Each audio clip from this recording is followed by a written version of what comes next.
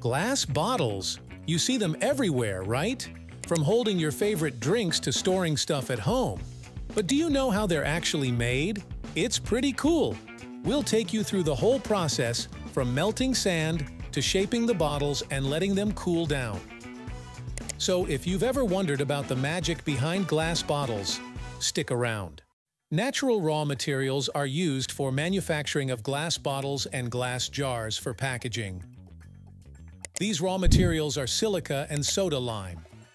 These materials perform different functions, like soda is used for lowering the melting point of sand, and lime helps in making the glass hard, shiny, and durable. Cullet is broken glass, which is obtained from the bottles rejected by manufacturers of glass bottles, from the recycling points, bottle banks, or curbside collection system. It is very beneficial in manufacturing of glass bottles. The batch is prepared on a grinding machine. Raw material cullet and decolorizers, or colorizers, are ground finely in a grinder.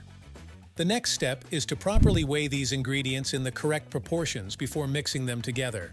The mixing of these ingredients is usually done in a mixer until a homogeneous mixture known as a batch or frit is obtained. Before being fed to the kiln, the batches are stored in large vertical silos. The batch is now taken for further process of melting in a furnace. The mixture continues to melt in a furnace heated to a temperature of about 1748 degrees Celsius.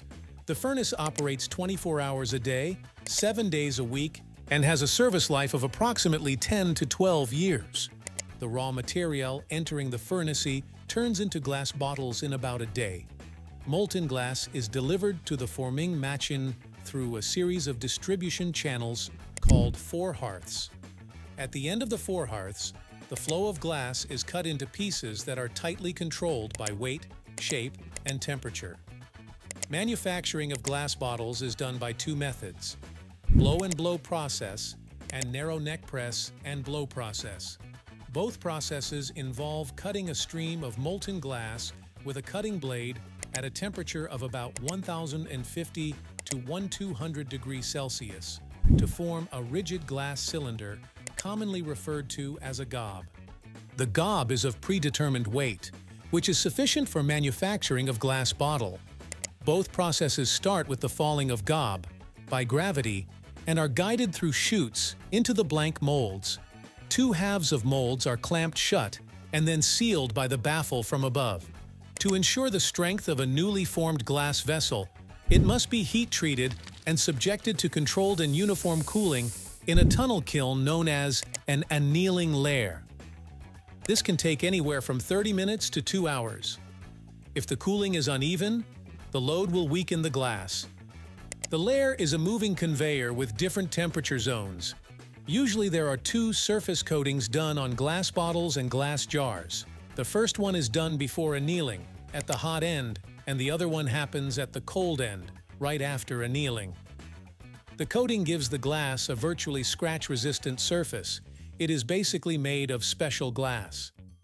As a result of reducing surface damage during use, coatings are often described as hardening and less commonly, as retaining strength coatings. Then glass bottles are 100% checked for the presence of various defects, both automatically and manually. The defects of glass bottles can be of various different kinds. The glass can have small cracks called checks, and sometimes foreign objects called stones can penetrate the walls of the glass bottle. Glass bottles are then packaged differently. Bulk pallets are very popular in Europe, which can hold between 1,000 and 4,000 containers each. Automatic machines are used for this process. Other options include boxes and hand-sewn bags. Once packed, new in-stock items are tagged, stored in a warehouse, and finally shipped. And there you have it, the captivating journey of how glass bottles come to life, from humble beginnings to everyday essentials. From sand and soda ash to perfectly formed vessels ready to hold your favorite drinks, it's been quite the adventure. So, if you found this journey as fascinating as we did, don't forget to hit that like button and subscribe to our channel for more captivating insights into the world of production and innovation.